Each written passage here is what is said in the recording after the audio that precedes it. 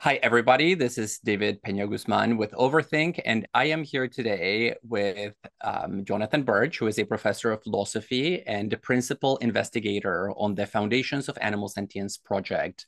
Um, and he works out of the London School of Economics. He is the author of a forthcoming book called The Edge of Sentience Risk and Precaution in humans, other animals, and AI. Uh, Jonathan, thank you very much for joining us on this channel. Hi, David. Thanks for having me.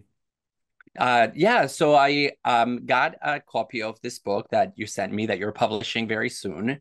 And it is about the gray areas associated with sentience and about how we can think morally and politically about how to um, regulate or deregulate, um, and just how to think about these issues that are so tricky because there are no clear cut boundaries. In many of these cases, we don't even know if the concept of sentience applies or not. And so we'll jump into the details, of course, of your position in this book. But as a way of starting, I want you to just reflect a little bit about what you're trying to do in this book. What's the central problem that you are trying to address?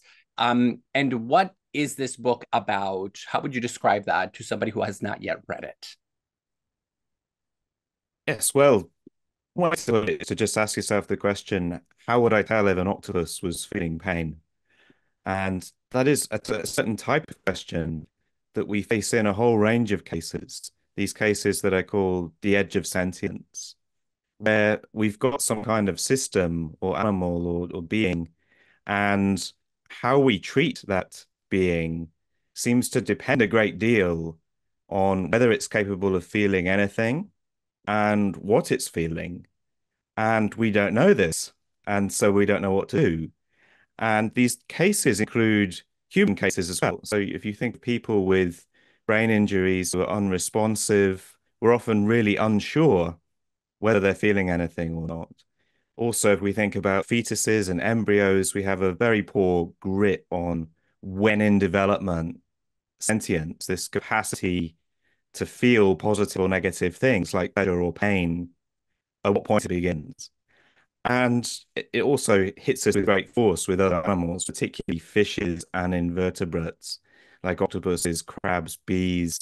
I think everyone has their own threshold of doubt. Know, where doubt starts to creep in. Even if you're feeling very sure about octopuses, you might feel some doubt about insects.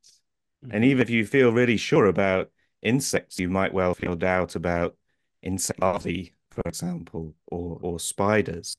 Everyone eventually gets to that point where they say, I don't know what to do anymore, um, because I don't know whether this system is feeling anything or not.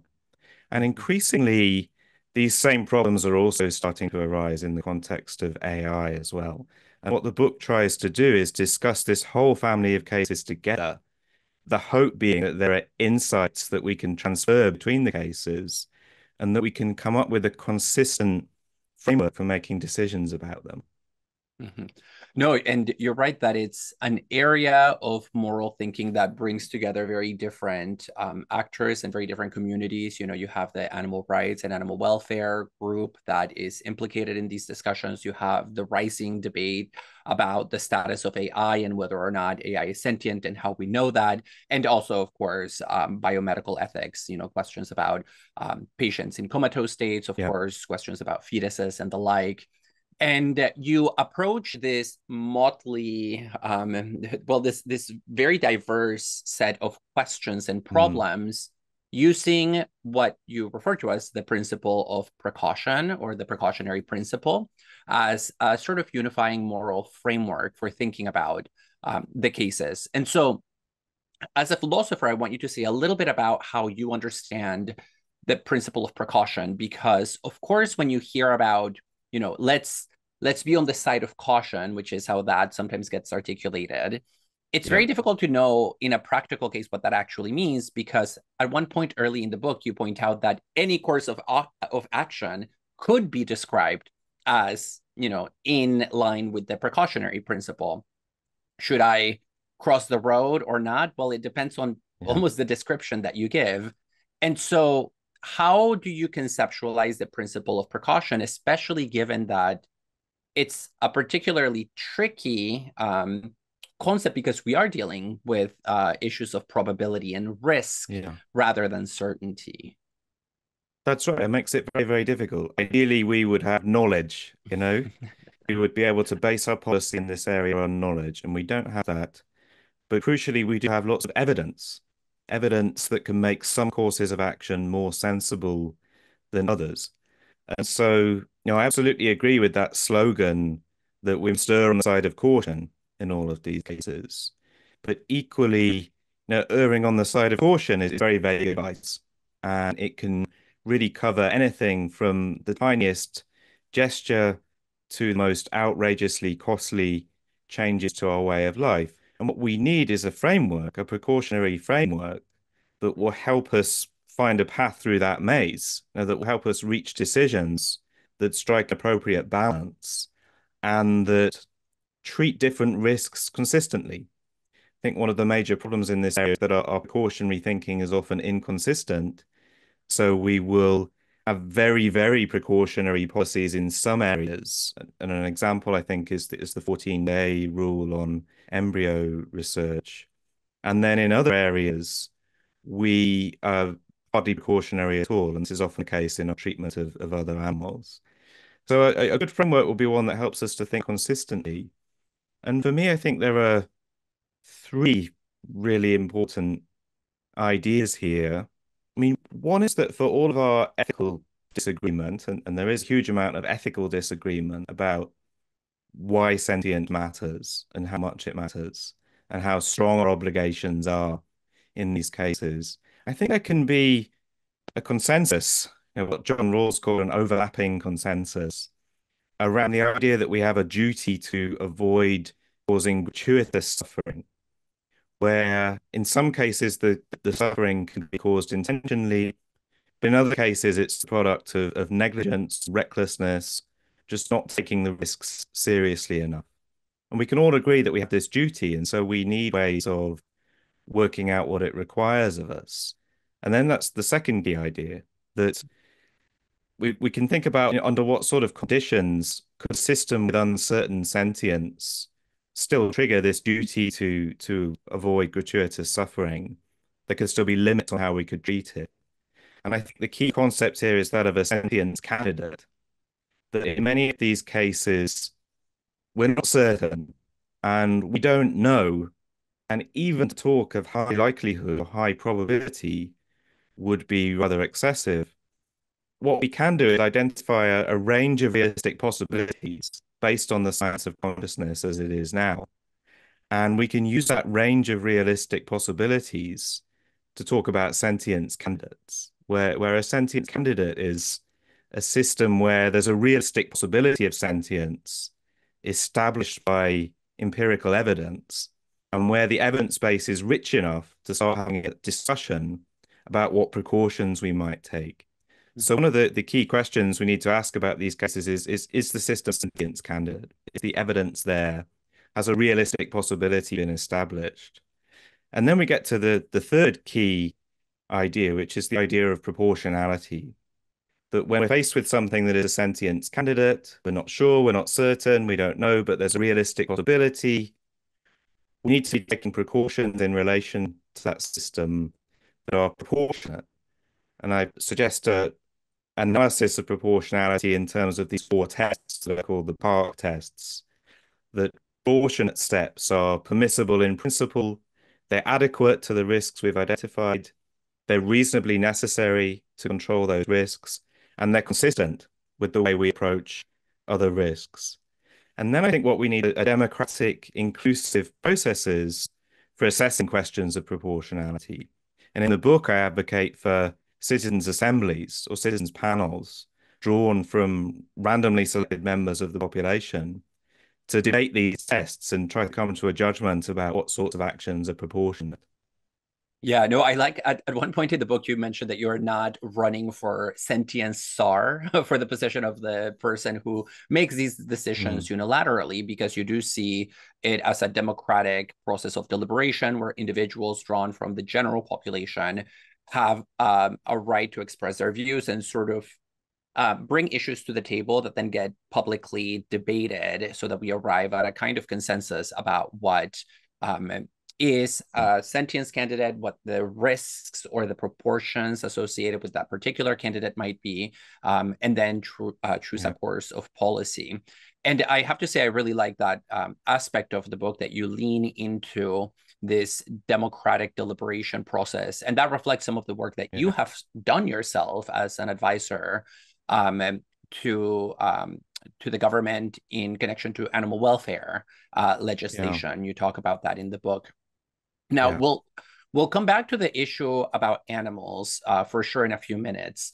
But I want to jump into some of the other concrete cases because I do want to commend your book for you know just sort of running directly to the really difficult moral issues yeah. in an applied sense and really trying to tease apart how we should think about them. And one of those tricky moral dilemmas, or maybe dilemma is not the right term, but tricky moral cases that you talk about are patients or individuals with disorders of consciousness.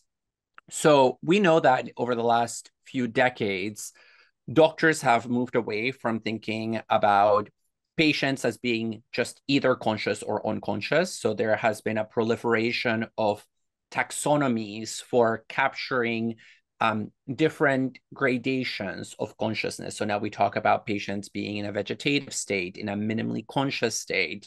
Um, you know, sometimes people include many other categories in between. I've seen a number of them um, in my work in bioethics. And in the chapter where you talk about these disorders of consciousness, which is another instance of the edge of sentience, yeah.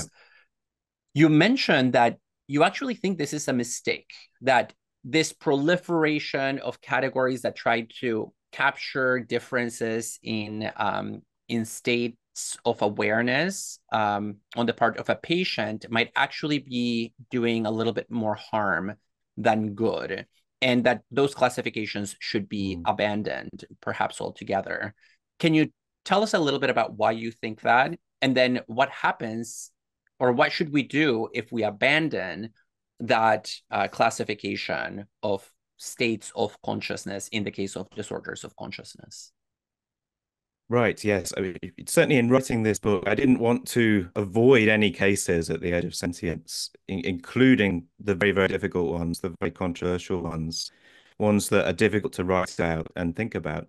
And I think undoubtedly these cases of disorders of consciousness are very difficult to think and, and write and talk about, particularly for, for people who've been involved in some way in this process through through suffering a brain injury, or through being uh, relative, someone who has. It's obviously a terrible, terrible situation to be in.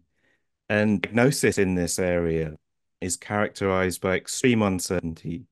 When people try to estimate how often the diagnosis is incorrect, estimates are in the region of 40%. And this makes sense when you think about it because it is just very, very hard to tell. You're faced with an unresponsive patient who is not displaying obvious signs of voluntary action following a brain injury, well, there could still be very subtle signs. And even if there are no outward signs at all, well, there might be stuff on the inside. There might be what's known in the literature as, as covert consciousness or cognitive motor dissociation, where conscious experience continues despite the lack of any outward sign. And then it gets worse because even if you've you can't find any evidence of that, so when you test in in brain scanners whether the subject is able to perform cognitive tasks through their brain activity, even when you find they don't, there's still a possibility of, of what I call covert valenced experience, which is motion, feelings of pain, pleasure that do not express at the level of cognition. So it's a horrible minefield of uncertainty. And I think traditionally there has been a tendency to handle that minefield of uncertainty in the wrong way, which is to have these quite rigid diagnostic categories of minimally conscious and persistent vegetative state, where there's many problems really with the persistent vegetative state category. But the one that concerns me the most is this stark implication that the patient is not even minimally conscious. because that is clearly implied. And we can't actually be sure of that. We're not in a position to be confident of that, even because of the possibility of covert consciousness or covert valence experience in many of these cases. And so, in light of that, what I end up proposing in the book is that in therapeutic and legal contexts, that distinction should not be used. And in some countries, that would be a very big change to current practice. I've seen signs in the UK that it seems as though clinicians are, in the context of therapy, they are starting to move away from that distinction already. And also in the law, they're starting to move away from that distinction, which I think is good. So I see myself here as trying to say, well, let's make explicit a trend that has already been happening implicitly mm-hmm. under the radar and actually overtly call for that change in policy. Yeah, and so let me ask you a follow up here. Is the idea in these cases that when a physician or a medical provider finds themselves in the presence of a patient that is unresponsive, that instead of worrying about what diagnostic criterion to apply, because then that sort of, you know, it it makes you potentially feel a little bit more secure in a negative conclusion that this person does not have emotional yeah. states, uh, sentient states that we will address it on a case by case basis. And rather than diagnosing this patient as either minimally conscious or in a persistently vegetative state, that we just ask the question what am I seeing in this patient? What can I know? And does it mean that we always sort of err on the side of assuming that there is some valenced um, yeah. uh, experience going on?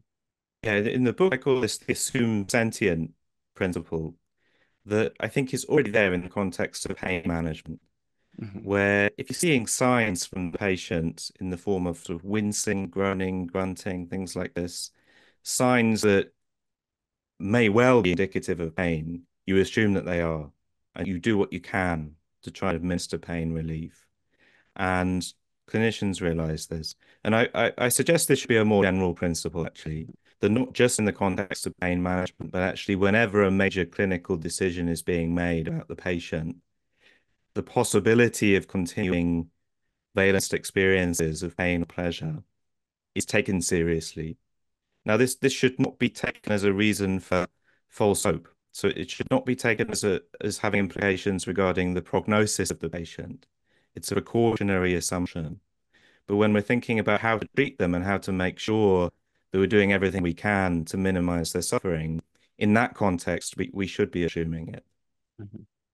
Um, now let's talk about another of these cases also with medical implications, which is the case of um, abortion and the right of choice, because we know this is one of the areas in contemporary debates about sentience where mm. um, you know the moral and the political implications are also very high stake in terms of women's rights there is of course that old argument that life begins at conception and that that's why uh, abortion is morally impermissible but there is a version of the argument that I have seen in the writings of people who work on questions of consciousness and sentience, which is to sort of replace um, the life um, or the moral boundary is drawn not at life, but rather um, not at conception, but rather at the moment in the course of development where the fetus becomes sentient. And so a number of people have pointed out that there are good reasons to assume that a fetus has something like sentience before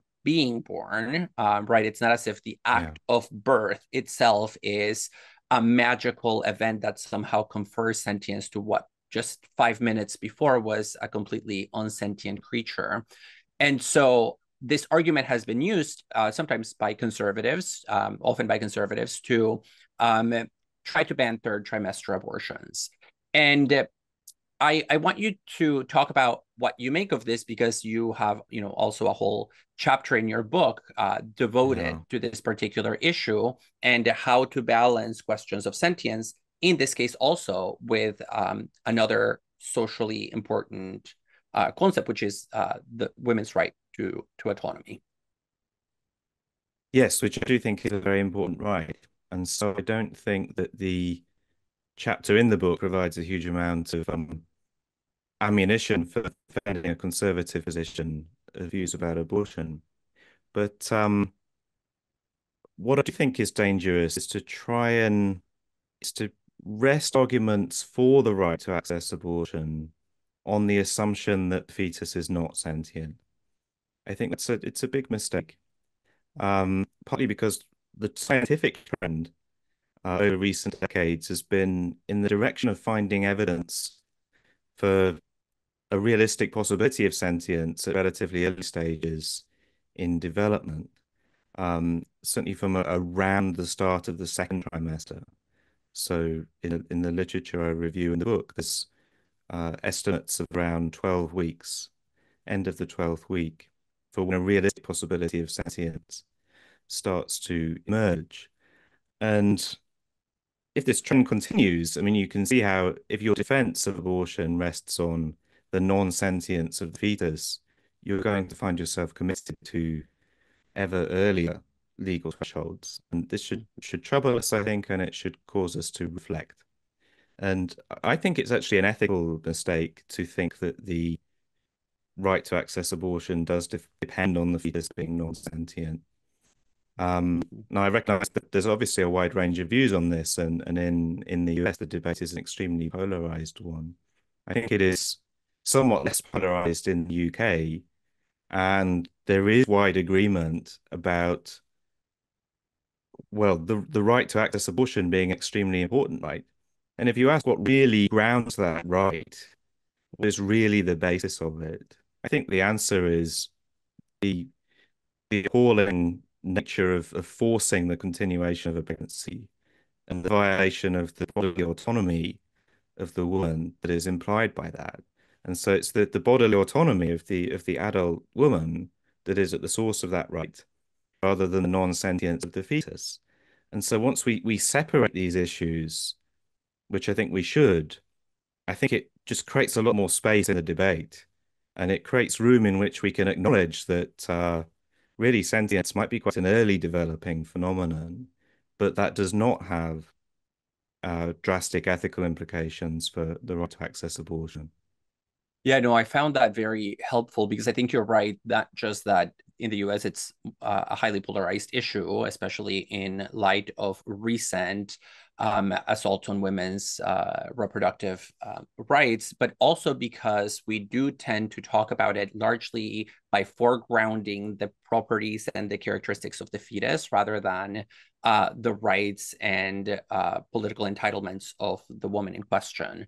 Um, and so just shifting the focus from sentience to autonomy, I think, is a very helpful way of just moving the the legal debate forward yeah. in a way that doesn't commit us to making the case for women's reproductive rights rest on shifting scientific uh, positions yeah. about sentience in connection to fetuses. Yeah.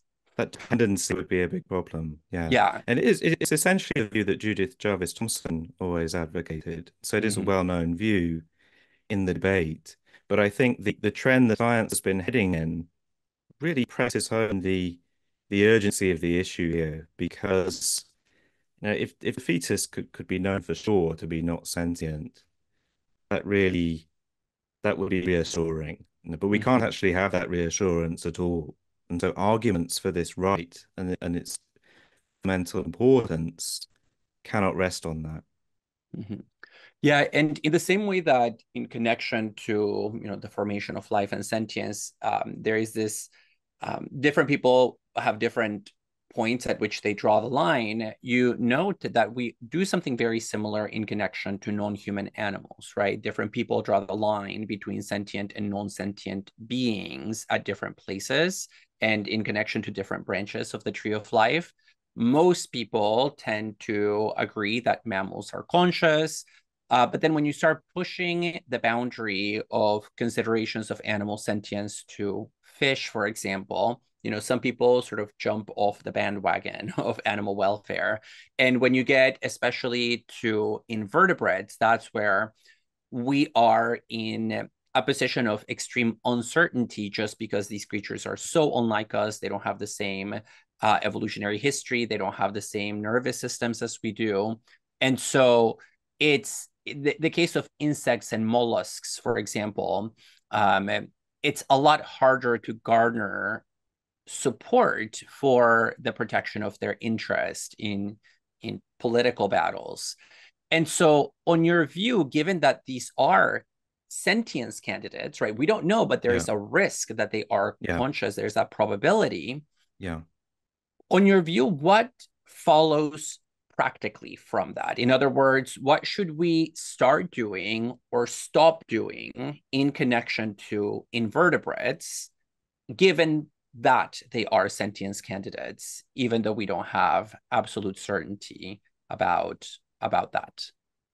Yeah. So what I'm doing throughout the book is making proposals where I've articulated this view that we need to be looking for proportionate steps and this analysis proportionality in terms of what is permissible in principle, adequate, reasonably necessary, and consistent. And then everything I say about particular cases is proposals where I think it plausibly meets those tests, but really there's a call for democratic debate because I'm, as you said earlier, you know, I'm not the I'm not the dictator. I don't get to tell everyone what is or is not proportionate. I can just make proposals. And um, one of the proposals is absolutely that we should be trying to protect the welfare of a very wide range of animals, including invertebrate sentience candidates. And I think the, the octopus here is the easiest case to understand that we can see from documentaries like My Octopus Teacher, these are very plausibly sentient, highly expressive, emotional, and uh, intelligent animals as well. And then you see attempts to farm them in intensive conditions where you're taking an animal that is a, uh, in the wild, a solitary predator, very soft bodied, very easily able to injure other octopuses, and generally will avoid close proximity to other octopuses. And then you're putting it in tanks. You know, you're putting them in tanks where there's 30 or more of them squashed into tiny space. And the, the welfare consequences of this are completely obvious. Uh, the, the risks are very clear. And yet then the debate is, well, can we control those risks by anything short of banning the practice? Now, are there welfare codes to practice we could bring in that would control those risks? And if there are, then maybe banning it is not reasonably necessary. Maybe it's excessive. But I really don't see how we could do that. I think the only way to really show express concern for the welfare of octopuses is to not farm them in those conditions at all. And so I think it probably would be proportionate to ban these attempts to try and farm octopuses. And would you extend that conclusion also to insects? Uh, because there has been this trend of, um, in some corners of the food industry, of trying to turn to insects as uh, more sustainable, cheaper uh, sources of protein mm-hmm. um, for non vegans yeah. and non vegetarians. It's genuinely a very interesting issue and an important timely one. It's not on many people's radar, but actually, the insect farming industry is growing globally yeah. very, very fast. And I think that adult insects are sentient candidates. Mm-hmm. And so the idea of an industry that is farming them without any welfare guidelines or regulations at all, this does concern me. Now, in the case of a lot of insect farming, actually, they're a lot farming insect larvae a lot of the time. So they're slaughtering the animals at the larval stage before they become adults. And in, in this case, I don't think there is actually the, the evidence base there currently to call them sentience candidates. I have in the book this other category of an investigation priority for cases where we really, really need more evidence as a matter of urgency. Mm-hmm. And I think that's true of these these insect larvae that are being farmed on an absolutely unbelievably huge scale, mm-hmm. but about which we know hardly anything. So, in, in a collaboration with Lars Chittka at Queen Mary, we've established a project that is trying to get them evidence, just mm-hmm. trying to do some some behavioral tests on on insect larvae to see what we find out. No, that's great. And I mean, so far we've we've talked about you know biomedical ethics, in connection to um, disorders of consciousness. We've talked about reproductive justice issues in connection to abortion and in connection to animals. Uh, the last sort of area that is uh, represented not just in the book but also in the title of the of the book is artificial intelligence, and so I want to go there for a second before we close, because one point that I think is really important that you make in your in your work is that a lot of debates that are happening right now around AI being sentient, especially in um, connection to large language models, is th- those debates tend to focus on whether or not those systems are intelligent. Um, you know, so there is a the, the proponents of um, AI rights often foreground the cognitive achievements and the learning flexibility of these systems. And you note that sentience is not intelligence and that we need to be very careful not to conflate the two. A system can be very intelligent without being sentient at all. And so, what I want to ask you is what would it take, on your view, for an artificial intelligence system, such as an LLM, to count as sentient?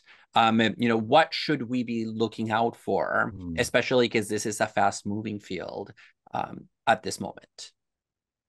Yeah, so we're certainly not there yet. So I do not think that current AI has given us any sentient candidates. But I do think we should take the issue seriously.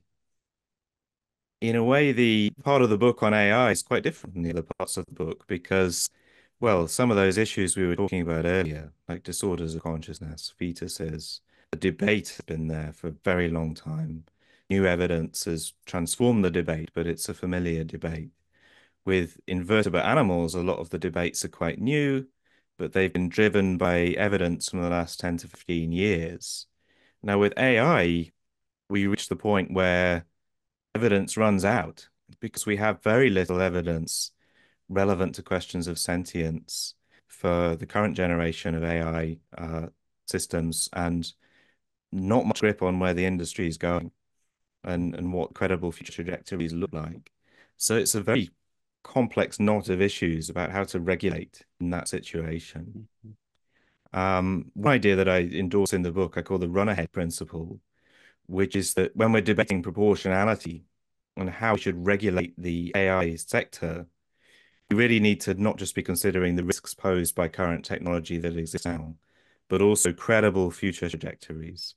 Because technology is moving so unbelievably fast that even with writing this book and know it, knowing that there's an eight month period between sending off the manuscript and it being published, you worry about being overtaken by events.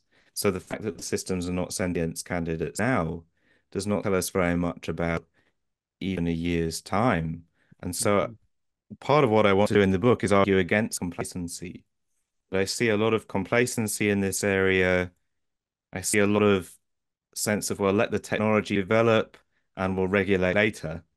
And mm-hmm. things are moving too quickly for us to do it that way. We actually need to be having preemptive discussions now so that if sentient AI does uh, arise in the future, sentient candidates at least, we would be ready, we would have some regulations that could come into force.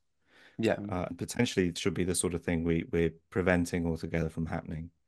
Yeah, and the notion of preemptive legislation and policymaking in, you know, I think is something that would go to great lengths, especially when you're dealing with cases at the edge of sentience, where part of the problem is that often advancements on the ground, whether that is in AI or in our scientific knowledge about the cognitive capacities of animals, or you also talk, for instance, about our scientific capacity to create neural organoids, these sort of systems that yeah. are um, neural, sometimes with a computer interface that you know also raise questions and so all those developments are running a lot faster than our capacity to regulate yeah. them and even than maybe our concepts in moral and political philosophy, right? So they push against the boundary of the very language that we have for talking about them.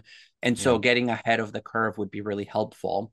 And in connection to AI, maybe I will ask you one follow up about this because one of the differences between animals and AI that you talk about in the book is what you call the gaming problem. Uh, so we know that AI are trained essentially to spit back to us what we provide it in the form of training data. So yeah. AI can adapt itself and it can sort of mimic and parrot um, human answers, human capacities, because that's what it is being asked to do effectively, right? Yeah non-human animals don't do that because it's not their goal is not to um, you know they, they don't operate according to the same principles they're not working on large sets of data and trying to yeah. uh, skim patterns and so you point out that one of the difficulties with ai in particular is that when we see a sign of pain or maybe of intentional behavior in a non-human animal, we can relatively safely assume that it is good evidence of sentience, right? You see an animal showing flexible behavior, uh, being emotionally expressive, as in the case of octopuses, well, you draw an inference. But with AI, because AI is capable of gaming the criteria, sometimes we will get a lot of false positives. And so can you talk a little bit about yeah. how to deal with this problem that is unique yeah. to artificial intelligence systems? I think it is a horrendous problem. But in the case of octopuses, as you say, they're very intelligent, but they're not so intelligent that they are intentionally trying to persuade us that they feel pain. And they're not drawing on all the literature humans have ever produced about markers of pain in order to persuade us of that. And so this is actually a hidden assumption in animal consciousness research. Researchers don't articulate it because it's so obvious. But of course, the animal is not in a position to know your criteria. And so when you see a large diverse of a set of markers that the animal is ticking off, the best explanation is that they do indeed have the state, the natural kind that your markers were testing for. It's an inference to the best explanation. Now, in the AI case, two explanations always compete. Your list of markers, and it ticks them all off. An explanation one is well, it ticks them all off because it genuinely has the natural kind, the state they were designed to test for. An explanation two is that for some reason its objectives are served by persuading a human user its sentience, and it's used everything humans have ever written about markers of sentience in order to know what it has to do to convince you. And it's just mm-hmm. done those things. And it's agonizing. But I think with large language models, we're in, in the situation of thinking, well, if anything, explanation two is the more likely of the two. We don't know how the technology is going to change in the future, but we're always going to be faced with these two explanations competing and a very poor grip at the moment on how to choose between them. And it's really, it's not clear we can use any linguistic behavior at all to choose between them, which mm-hmm. is an awful predicament to be in because that's the that's the type of behavior these systems produce. They don't behave in any other ways. So we're we're in a real, uh, really tough situation.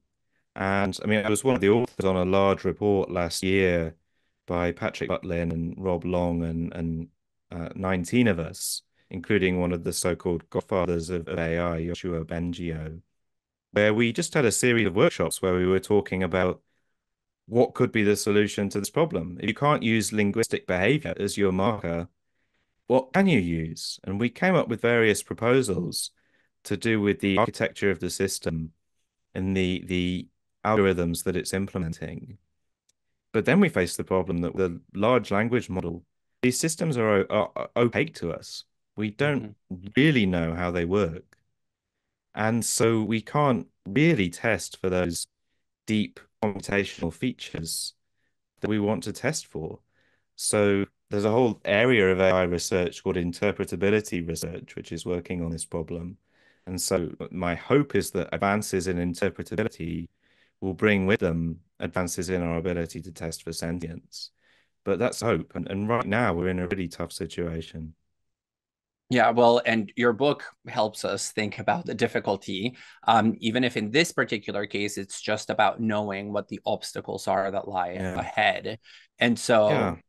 uh, it's it's doing some really important work. And uh, Dr. Birch, I want to thank you for taking the time to chat with us here at Overthink about your book. And to our viewers, I recommend Dr. Birch's work, um, The Edge of Sentience, Risk and Precaution in Humans, Other Animals, and AI. Thank you for being here today. Thanks. Thanks very much.